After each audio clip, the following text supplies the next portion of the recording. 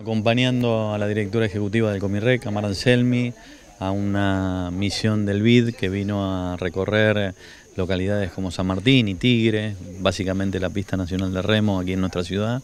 para tomar conocimiento in situ de bueno, la situación del río Reconquista. Para nosotros es fundamental que este crédito del BID comience a tener principio de ejecución. Eso significa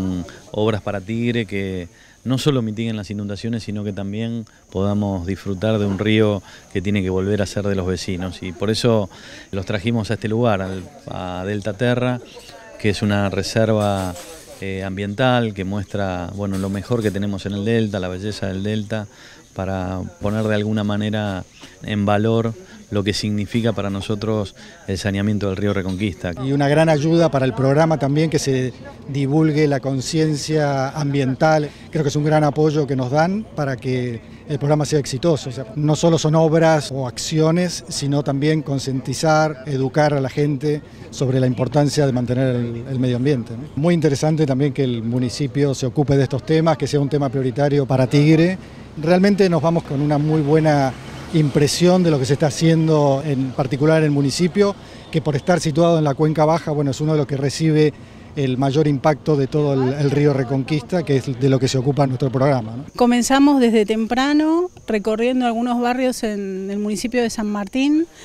Seguimos la visita y fuimos a la reserva protegida de Ituzaingó y terminamos en Tigre, la pista de remo, que es el final del río, con una exposición de los chicos, los remeros olímpicos,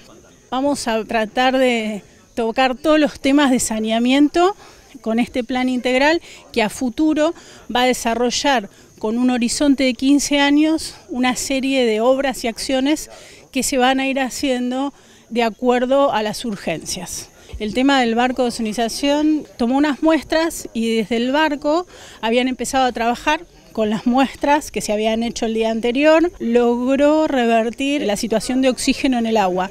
Y la visita a este lugar, que es fantástica, muy agradable, Julio nos invitó y la verdad que la experiencia fue genial. No es solo el saneamiento de un río, sino también el cuidado de este lugar tan maravilloso que tenemos todos los argentinos, no solo los vecinos de Tigre, pero que nosotros como tigrenses tenemos la obligación de, cuidar. Así que